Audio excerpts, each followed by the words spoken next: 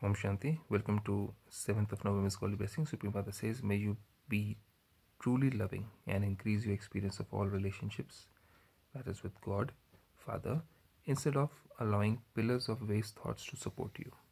So, pillars of waste thoughts, that means they're weak.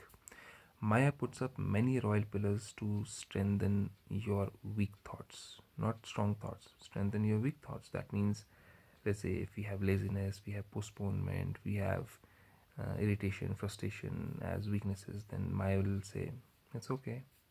It'll try to make us feel that it's okay to have those weaknesses.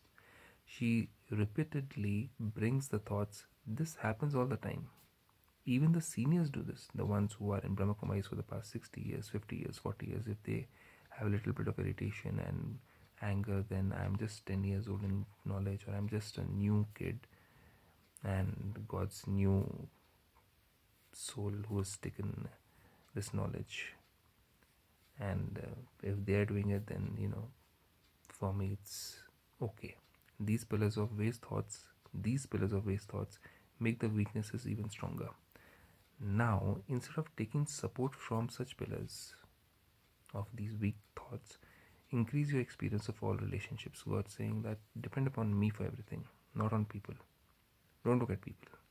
I'm your friend, I'm your colleague, I'm your father, I'm your mother, I'm everyone to you. Experience the company in the corporeal form and be truly loving. In this physical being form itself, we have to experience all these things. Om Shanti.